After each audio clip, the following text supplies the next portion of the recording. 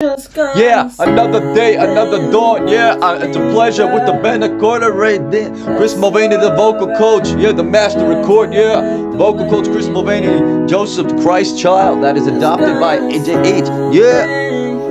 Mm hmm. That's alright. Because a new daylight is born.